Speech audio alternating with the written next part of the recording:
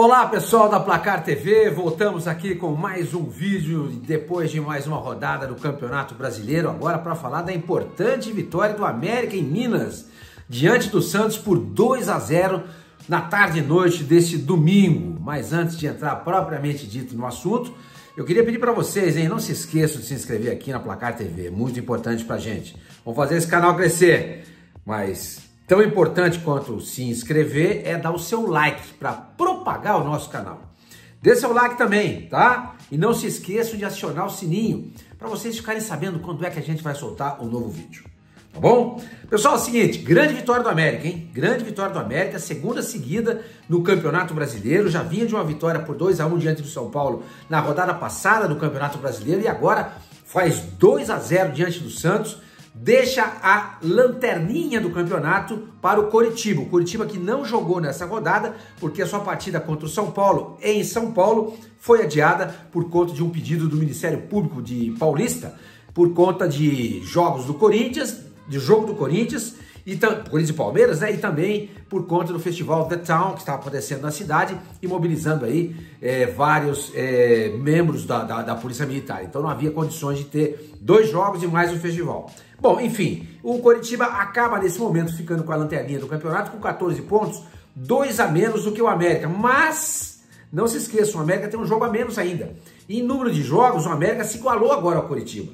Ele tem 16 pontos e o Coritiba tem 14. Ótima recuperação do time mineiro. Não fez um grande jogo contra o Santos. Longe disso, o América ainda é um time bem, bem frágil, bem capenga, com uma série de problemas, com uma série de, uma série de defeitos mas fez o que tinha que fazer. Jogando em casa contra um time fraquíssimo, que é o time do Santos, foi lá, não tomou conhecimento do adversário, criou suas duas ou três oportunidades, quatro, vamos, olha, olha, vou dizer, o América criou umas cinco, seis oportunidades, fez dois gols e com justiça chega a vitória e aquilo que eu falei, repito, deixa a lanterninha do Campeonato Brasileiro. O Santos, em contrapartida, se mantém na zona do rebaixamento, continua em 17º lugar e permanece com seus 21 pontos. O Bahia, que empatou em casa com o Vasco da Gama em 1 a 1 somou um pontinho e foi a 22. O Santos tem 21 na 17ª, primeira colocação dentro da zona do rebaixamento. E o Bahia agora tem 22.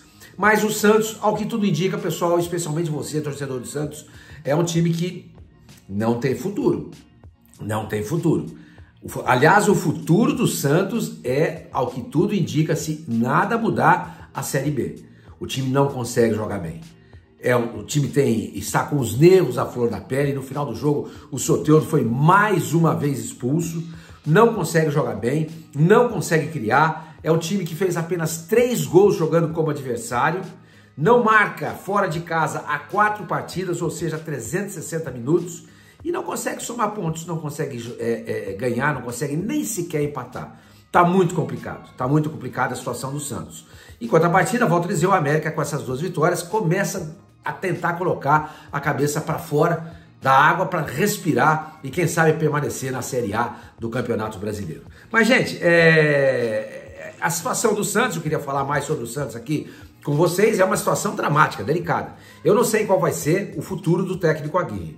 Eu, se fosse presidente do Santos, eu o demitiria agora, já depois do jogo, nem sequer voltaria empregado como treinador do Santos. O Santos perdia o primeiro tempo por 1 a 0 ele faz uma, uma substituição esdrúxula no intervalo do jogo, colocando o lateral direito Caissara, que tinha feito apenas três treinamentos, tanto com a, com a camisa do Santos, e mantém o sistema com três zagueiros, sendo que o Santos precisava vencer o jogo.